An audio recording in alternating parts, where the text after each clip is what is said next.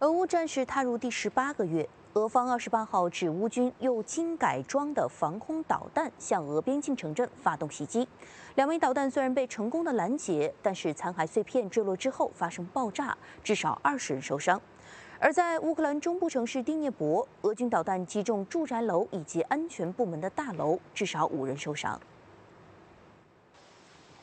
俄国防部二十八号指，乌克兰当天先后用两枚经改装成攻击型的 S 二百防空导弹，向位于俄西南部靠近乌边境的罗斯托夫州发动袭击，俄防空系统成功进行了拦截。不过，第一枚 S 二百导弹残骸坠落于塔甘罗格市中心后爆炸，多人受伤，现场周边的博物馆、公寓等建筑严重受损。而第二枚则坠落于亚速市的无人区。俄国防部指责乌方发动恐袭。乌方官员则将爆炸归咎于俄防空系统，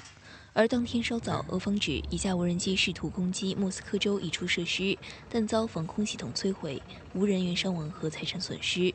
而在乌克兰东部俄控顿涅茨克市，俄方称当地内政部办公大楼遭乌军大规模炮击后严重受损，俄方正调查所用武器及伤亡数字等。而在乌中部城市第聂伯，乌国家安全局大楼及一栋高层住宅遭俄军导弹袭击，据报有多人受伤。乌总统泽连斯基就事件召开紧急会议，并谴责俄军再度发动恐袭。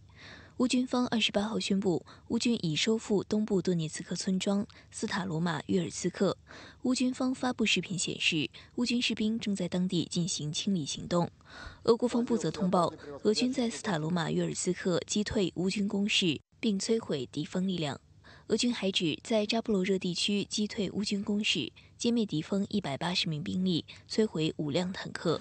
另一方面，俄国家原子能公司负责人二十八号表示。国际原子能机构委员会已检查扎波罗热核电站区域，未发现爆炸装置或地雷，并指核电站目前处于绝对安全状态，辐射值也处于正常水平。凤凰卫视综合报道。